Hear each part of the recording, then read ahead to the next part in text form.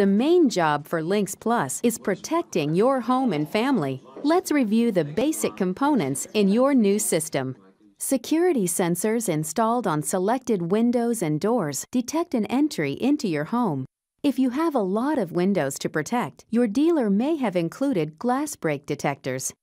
And motion detectors may have been installed to detect motion inside the house. For help in a fire emergency, you may have smoke detectors and carbon monoxide detectors to alert you to this deadly gas. If Lynx Plus detects an intruder, it sounds a loud warning tone. Alarm, sliding, door. And sends an emergency message to your central station. The central station is staffed by trained professionals 24 7 to make sure that the help you need will be on the way.